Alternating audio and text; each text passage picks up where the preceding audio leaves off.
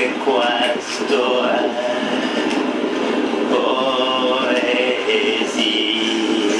a fragment of my film, my last film. The name is Zero XXL. is uh, selected for very important uh, archive, in the book archive for um, um, PS1 MoMA in New York, and uh, I presented before the film this book.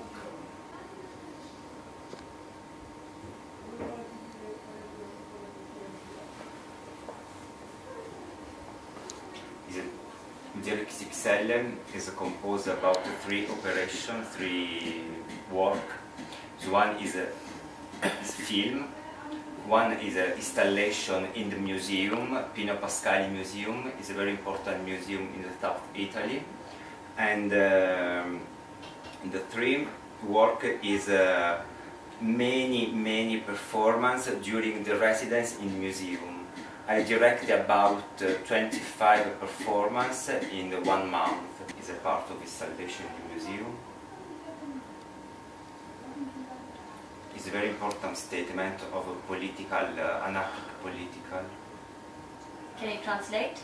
No. Okay. Ciao.